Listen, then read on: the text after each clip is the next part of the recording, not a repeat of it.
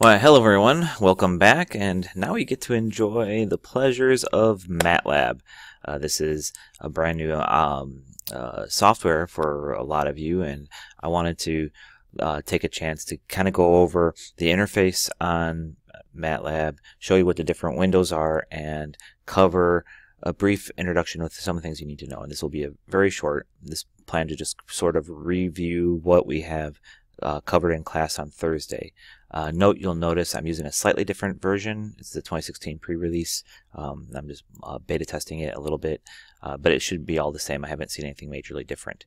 But when you open it up, you have obviously your current folder window, which says what active directory MATLAB is working in. You have, as I mentioned before, your command window.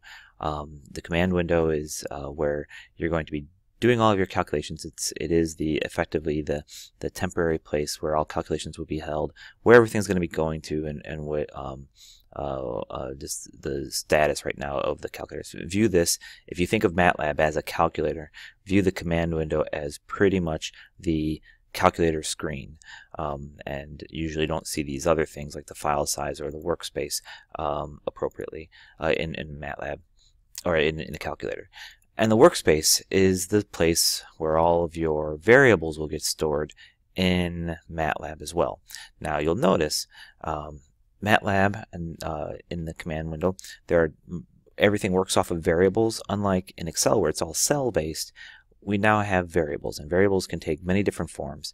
Effectively, one example is a variable can be a, a scalar, a single value of a one by one array.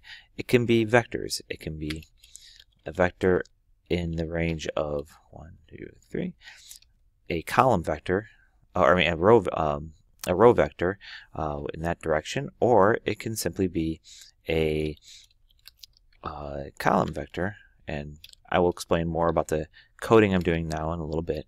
But it can also be a column vector. These are uh, the uh, systems that the variables can take.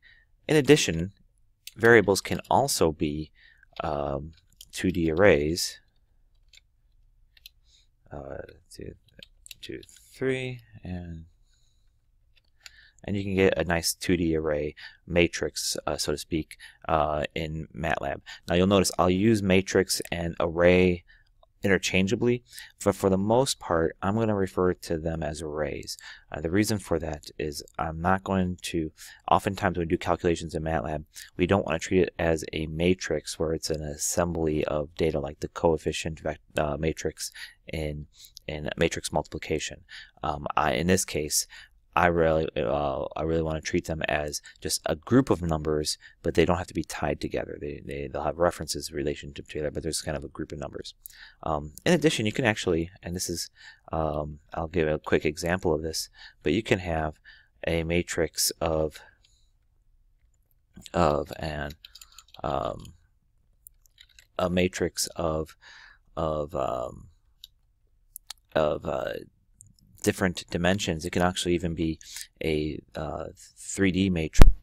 So uh, rather than just having a 2D array, you can actually also have 3D arrays or even greater. An example uh, could take the form of a, a 5 by 5 by 5 array where you now have this 5 by 5 by 5 double it's called it's a double variable um, uh, that's uh, for those who code uh, recognize that from um, C language, but uh, it just means it uh, can hold a, a, large, each cell can hold a large number of, of, of a uh, real number form uh, to fit.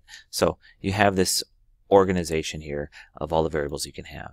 Now in addition to that, you can also, and I, what I would encourage you to do is, this is the standard work, uh, the, the new standard interface or default interface for um, MATLAB.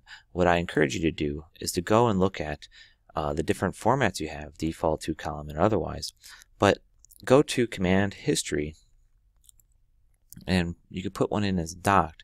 And I really like having this in the background because this is a nice review of the things you did. You can go here, scroll up, click on what you did, click on what you want, and you can actually see it even gives you breakdown by date of what you helped with and what's going on um, and so forth. Uh, you'll notice, if you're a little astute and you remember from Thursday, someone had made the comment of saying, well, hey, this is a uh, why might be an Easter egg.